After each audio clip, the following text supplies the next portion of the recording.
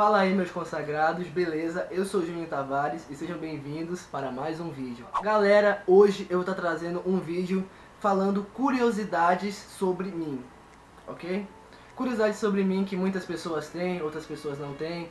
Então pra quem não me conhece, aproveita e já assiste esse vídeo, comenta e deixa o like, beleza? Primeira pergunta.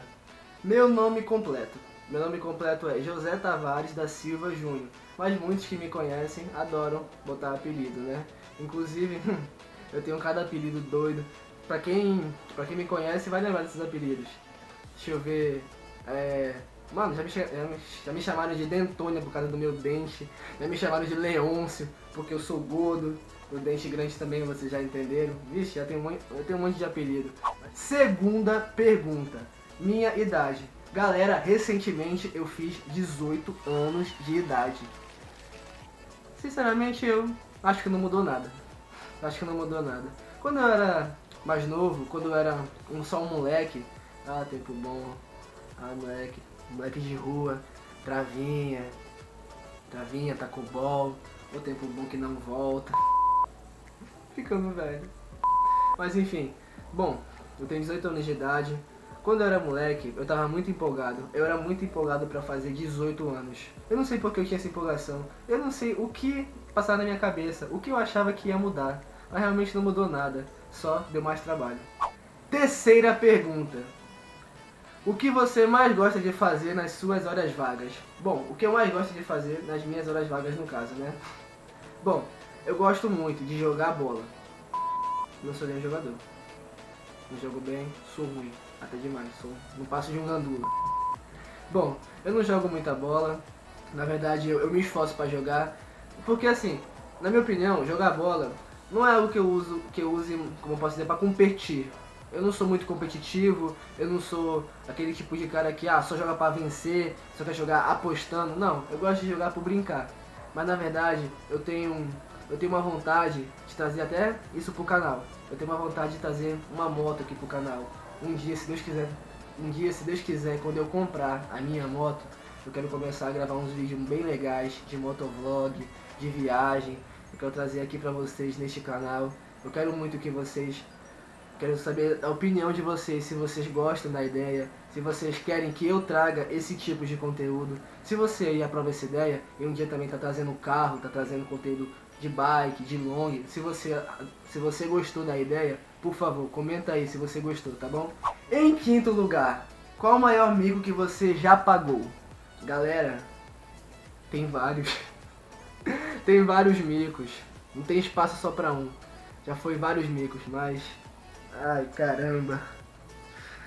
Mano, só de lembrar... Só de lembrar já dá uma raiva. Bom, o maior mico que eu já paguei na minha vida toda foi um desafio que eu tive que cumprir. Lá estava eu com meus amigos, era, era três amigos para ser exato, não, é, três a quatro amigos. Aí eles me desafiaram. Eu tive que tirar minha roupa, ficar só de cueca e subir numa lixeira. Tamanha 9 horas da noite. Imagina só como deve ser. Você tá lá com seus amigos andando de boa, aí do nada você é desafiado. Ei, mano, na moral, tira a roupa aí e sobe nessa lixeira. Agora, é o desafio. Mano, pra quê? Aí eu fiz, né, mano? Fazer o quê? Era o desafio.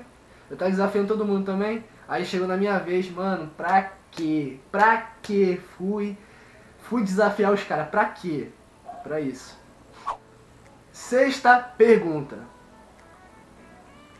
Quando foi o meu primeiro beijo? Olha, uma pergunta até que é importante, né? Porque qual, qual, é o moleque aí? Qual é o moleque hoje em dia que é BV? Acho que nem sabe o que é isso. Acho que nem sabe o que é BV hoje em dia. Nem sei como essa molecada tá falando, né? Esses moleques novos de hoje em dia, esses fundamentais. Enfim, brincadeiras à parte, tá galera? Bom, meu primeiro beijo. Se eu não estou enganado, eu devo ter perdido com, com 11 a 12 anos de idade. Eu acho que foi por aí. Mas, mano, foi horrível. Eu lembro.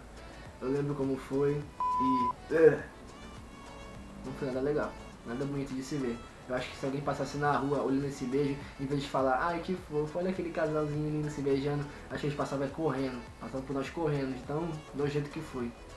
Vamos lá, oitava pergunta. Qual foi o momento mais marcante da sua vida? Um dos momentos mais marcantes da minha vida que eu posso dizer. Bom, que tal um momento aleatório? Porque são muitos momentos. Não dá pra dizer, identificar realmente qual foi. Mas eu acho que um dos melhores momentos foi quando eu ganhei a interclasse, que era um, que era um sonho de moleque. Eu era um aluno do oitavo ano que se juntou com os moleques do primeiro ano, que as minhas amizades eram lá. Um, foi um momento muito importante na minha vida, que eu ganhei o Interclasse, ganhei os jogos internos, fui campeão junto com o time do primeiro ano, e olha que eu era, e olha que eu era do oitavo ano. Mas eu, fico feliz em dizer que foi um dos momentos mais marcantes da minha vida. Bora para a nona pergunta. Qual lugar que eu mais sonho conhecer? Galera, eu tenho vontade Bom, eu vou revelar para vocês um dos meus maiores sonhos. Eu tenho vontade de conhecer todo o Brasil. Pra quem não sabe, eu sou paraense. Diretamente do Pará pra você, bebê. Bom, eu sou do Pará. Eu, eu já tive a oportunidade de conhecer outros lugares. Eu já fui pro Rio de Janeiro, viagem em família. Já fui pra Bahia quando eu era mais novo. Já fui pra Alagoas. Só que isso era quando eu era muito novo. Era uma, eu era, não tenho muitas lembranças, por assim dizer. Não tenho muitas lembranças de lá. Eu devo ter alguma foto guardada, mas eu tenho vontade de conhecer muitos lugares desse Brasil. Os lugares que o povo mais fala, que é um lugar bonito, que, que tem ótimas atrações, tenho vontade de conhecer muitos lugares. Ah, São Paulo, é, tenho vontade de voltar para Bahia, tenho vontade de conhecer Fortaleza. Ah, é tanto lugar. E um dia, que se Deus permitir, eu vou conseguir. E bora para a última pergunta. Qual o meu maior sonho? Galera, agora é um momento dramático. Eu estou iniciando meu sonho agora. Meu sonho é poder atingir poder atingir um número máximo de inscritos aqui no meu canal. Eu quero movimentar esse canal, mas eu preciso muito da ajuda de vocês. Eu quero ser um grande youtuber um dia. Minha meta agora, minha meta de vida, é conseguir ser pelo menos um dos maiores youtubers do Brasil. Não quero ser um dos maiores youtubers do mundo, mas quero pelo menos estar no top 10. Por favor, eu conto com a ajuda de vocês. Se você aí pelo menos gostou um pouco desse vídeo, se você se você simpatizou comigo, se você achou até engraçado, por favor, eu peço, compartilhe esse vídeo. Favor, manda esse vídeo até o, seu, até o mais próximo dos seus amigos, dos familiares. E por favor, me ajuda a realizar meu sonho. Que não é fácil, gente. Não é fácil começar do zero. Não é fácil você começar com uma coisa que você nunca imaginou em ter, só sonhou, mas nunca procurou saber, nunca procurou trabalhar em cima disso. Então, por favor, eu peço a ajuda de vocês. Me ajudem a conseguir muitos inscritos, tá bom? Eu não estou postando um vídeo direto, mas eu estou me esforçando para gravar um vídeo uma vez ou outra, para trazer conteúdo para vocês. Então, por favor, me ajudem a realizar meu sonho, a ser um grande YouTube. Por favor, me ajudem. Conto com a ajuda de vocês, tá bom?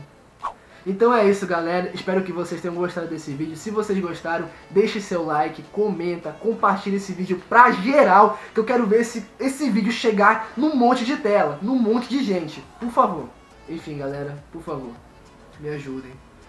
Me ajudem a chegar, a bater minha meta de inscritos, tá bom? Por favor, vamos chegar aos 100 inscritos, tá bom? Vamos chegar aos 100, só de início. Conto com a ajuda de vocês. Muito obrigado a todos. Beleza, valeu, falou, fui.